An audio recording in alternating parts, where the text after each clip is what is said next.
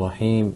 الحمد لله والصلاة والسلام على أشرف الأنبياء والمرسلين سيدنا ونبينا محمد عليه أفضل الصلاة وأتم التسليم. أما بعد اليوم ننتقل إلى نهاية هذه الوحدة في مادة التوحيد وهو الدرس التاسع عشر وهو موضوعنا لهذا اليوم وهو الرقى. بداية نمهد في هذا الدرس المسلم قد تصيبه في حياته أمراض مختلفة يكون بحاجة إلى التداوي منها. وقد أبدل الله أهل الإسلام الموحدين بدلا عن التمائم والتعاويذ الشركية كما أخذنا في الدروس السابقة بدائل شرعية لدفع البلاء قبل وقوعه أو رفعه بعد الوقوع. وذلك بمشروعية الرقية والتعاويذ الشرعية. فالمشروع للمسلم التداوي بالأدوية المشروعة والمباحة ويجب عليه تجنب التداوي بكل ما ينافي التوحيد أو كماله الواجب. هذا بداية.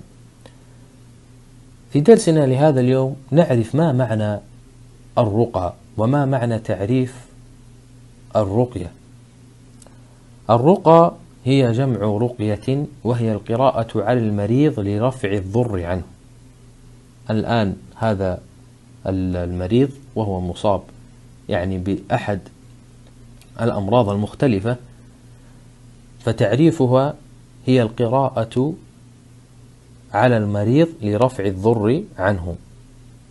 وتسمى العزائم والتعاويذ وأكثر ما تطلق العوذة أو التعاويذ على القراءة على الأطفال وغيرهم لحمايتهم من العين والحسد والشياطين والسحر وغيرها.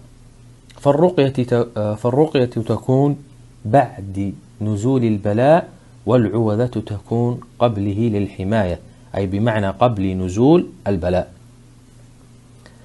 بعد ذلك ننتقل إلى طرق الرقية. للرقية طرق متعددة منها. القراءة على المريض مباشرة مع النفث أي بمعنى تقرأ من إيش؟ من القرآن الكريم. وبالأدعية المشروعة وبالأدوية المشروعة والمباحة. أيضا ثانيا القراءة على النفس أو المريض مع وضع اليد على موضع الألم أو مسحة باليد. يعني بمعنى أنك تضع يدك على رأس المريض على ظهره على بطنه. على مكان الألم أو مسحه. ثالثا النفث في ماء ثم يشربه المريض أو يغسل به موضع الألم أو يغتسل به بمعنى أنه بهذا الماء إذا قرأ الإنسان عليه سورة البقرة كاملة أو قرأ عليه المصحف كامل فإنه يستعين بالله سبحانه وتعالى ثم بهذه القراءة لكي تجعله شفاء وترفع عنه هذا الضر.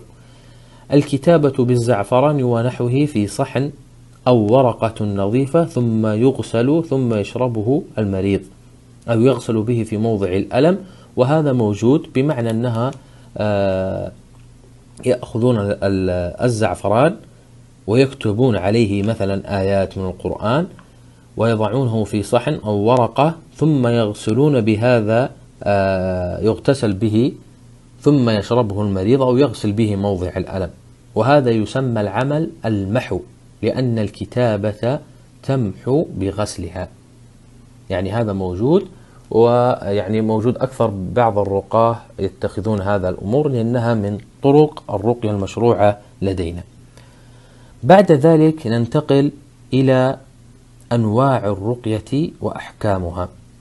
طبعا أنواع الرقية هي ثلاثة أنواع. النوع الأول عندنا هو آه، الرقية الشرعية وهو ما كان بالقرآن الكريم وما أثر عن النبي صلى الله عليه وسلم من الأذكار والأدعية المشروعات طبعا هذا الحكم جائز لأنه فعل النبي صلى الله عليه وسلم. وأيضا الدليل على جوازها أنه حديث آه، عوف بن مالك الأشجعي رضي الله عنه قال كنا نلقي في الجاهلية فقلنا يا رسول الله كيف ترى في ذلك؟ فقال أعرضوا علي رقاكم. لا بأس بالرقى ما لم يكن فيه شرك. بمعنى أن الإنسان يرقي على هذا الشخص المريض ولكن لا يكون فيها ما لم يكن به شرك. طيب شروط الرقية المشروعة. طبعا آه، باقي الآن ذكرنا نوع باقي الآن سوف يأتي معنا النوع الثاني والثالث. شروط الرقية الشرعية أن تكون بكلام الله عز وجل أو بكلام رسوله من الأدعية الواردة والمشروعة. أن تكون باللسان العربي أو ما يعرف معناه. وأن يعتقد أن الرقية لا تؤثر بذاتها بل هي تقدير الله سبحانه وتعالى.